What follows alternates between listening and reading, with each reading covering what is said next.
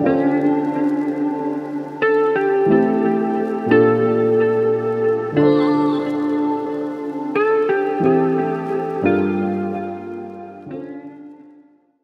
back. In today's video, we are gonna be tearing apart the 6.0 block. It was hydro-locked at one point, and I wasn't really happy with the way that one cylinder looked from last time in the video. So I also got some Plasti-Gauge. So we're gonna measure all the bearing clearances, the, the main bearing caps, and the rod bearings with this, uh, so I can order the right bearing sizes. And then we're gonna hit um, that cylinder and probably the rest of them with this uh, flex hone. I made sure this is the right size for the bore that I have. And finally, we're going to use these to clean up the block itself and all the mating surfaces. Um, so the top of the head, front of the motor, piston tops, I'm gonna hit with this and everything's gonna be nice and clean for when I go to reassemble. So by the, the end of this video, should have the block all cleaned up and ready for reassembly. All right, so first order of business, we're gonna get all these rod caps off and then stick our Plasti-Gauge in there, torque it all down to spec, and then check our rod bearing clearances.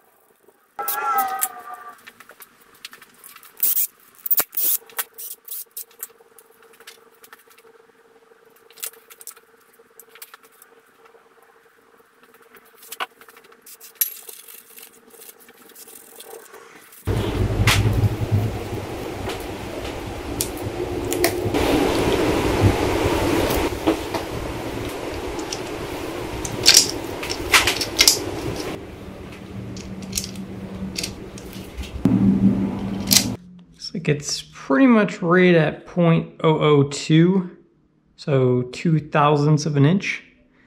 And that's actually within clearance, so looks pretty good there. Yep, perfectly right at two thousandths of an inch. Right where we wanna be. We wanna be right between like two and three thousandths of an inch is where the uh, spec calls for. Looking good.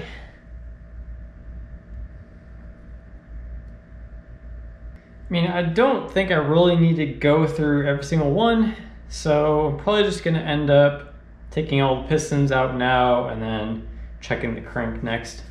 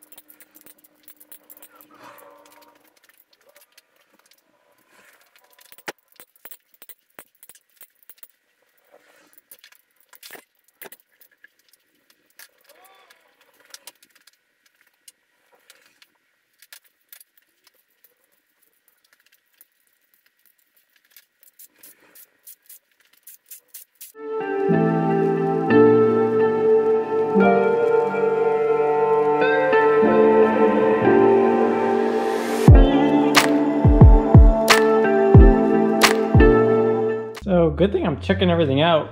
Most of these main bearings were down to copper. Look at that. Some have kind of uneven wear. I think this one. Yeah, check that out. So good thing I'm going through everything. So now next step is to use Plasti-Gauge on the main bearings. Now these require actually a different clearance. So I'm gonna have to switch to the green Plasti-Gauge instead of the red one. These are rated for different tolerances, so to go through and make sure that they're for the mains. So same process as before. Uh, you take a little bit of Plasti-Gauge, stick it on your main bearings here, torque everything back down to how it would be from the factory, take them all back off, and then measure them.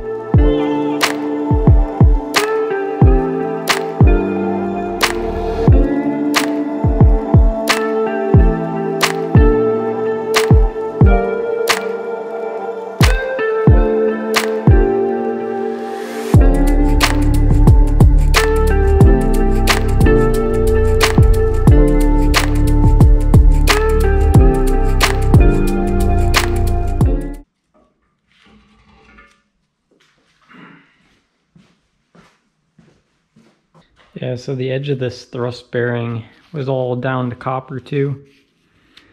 That's why I had a ton of thrust play and I think these were the original bearings. After taking everything apart and really inspecting things closely, I kind of can see what's going on with this motor. So remember I was saying that um, all these bearings pretty much are down to copper. So see the, the main bearings are, all the rod bearings down to copper. And what I'm seeing is, if you look at one of these bearings here, um, you could see the date stamp of 2016. So this was rebuilt fairly recently. And you have a, another stamp of 0.010. So that means that the actual journals on the crank were resized smaller because they were polished or you know regrinded. So they had to put in bigger bearings to make up for that clearance difference. So if you don't have that exactly right when you put in fresh bearings and oversized bearings those tolerances could be way too tight. And I feel like that's what happened here. So they reassembled everything. All the clearances were tight and then after only a couple years, everything got worn down because there wasn't enough oil to go between the bearing and the crank surface. So I feel like that's what's going on. The other thing that's interesting is if you look at the um, main bearings, looking at the front one, the only the side of this one is worn. This one's okay, this one's okay, this one's okay. And then you look at underneath,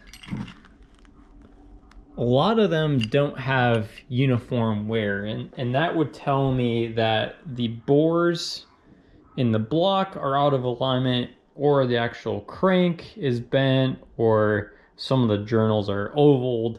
So I'm probably going to end up bringing this bottom end to the machine shop and having them like tri triple check everything and actually make sure that I'm buying the right bearings. Option number two is to take the crank out of this car because again, this car only has like 30,000 miles. Throw that crank in this motor and hope that the line hone is actually straight. Regardless, I'm going to now um, fix that one cylinder. So if you remember from last time, there was some pitting issue in this uh, cylinder right here. So I'm gonna take my flex hone and just hone all the cylinders fresh and then take my bristle wheels and then make all these surfaces nice and fresh again too. So if you've never seen a flex hone before, they're actually really good tools. A lot of people give them a bad rep because people say they're for junkyard builds or garage builds or whatever and they actually do a really good job if you really pay attention to what you're doing. So the cross hatching on cylinders are supposed to be 45 degrees of cross hatching. So in order for this to work properly, you have to make sure that the RPM of your drill and the speed in which you're going in and out of the cylinder to re-hone that is correct, or else you'll get a uneven cross hatching. The other thing is they they sell different types of grit and it really depends on what type of rings you're going to put in the motor. So pay attention to the different grits. Um, they actually make an industrial version of this, which has more beads and can handle a lot more engine rebuilds and abuse. This is probably only going to last me, you know, one hone and then be toast. But we'll see how that goes. Um, you're also you have you have to make sure you lubricate the cylinder, obviously. So they recommend using their own uh, Flexhone oil, or um, it, it's it's like a cutting compound, um, or use your like 5W30, 5W40. All right, so we're gonna take our motor oil, put some in the cylinder.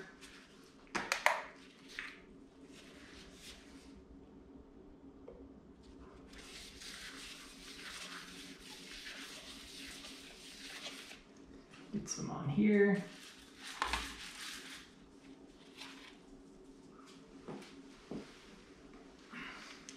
All right, you, you want to go in and out pretty quickly, and they said uh, the job should take about 25, 30 seconds. So just keep going in and out with it, count to like 25 to 30 seconds, and you should be good.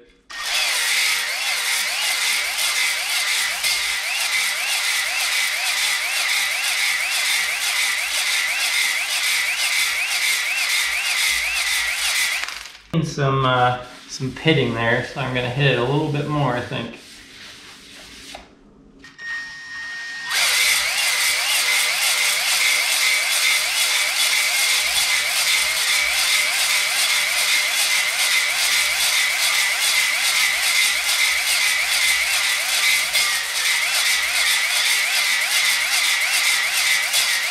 Okay, pitting is almost gone.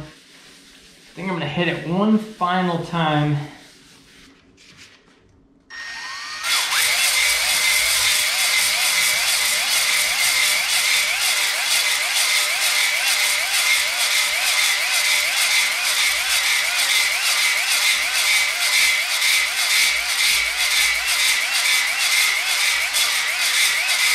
I'm just gonna run my finger over where that pitting was, just see if it catches. Still feeling it a little bit, so. Hit it one more time. It's definitely less and less visible with each pass, so that's good. Looking pretty good, I think.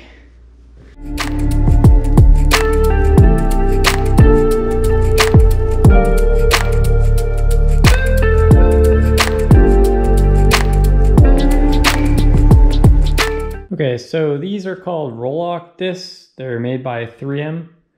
You can get these on Amazon, um, but they're really good for cleaning up iron block mating surfaces. I would not use these on aluminum, uh, but these yellow ones are medium grit, uh, and these are supposed to be good for the iron block cleanup.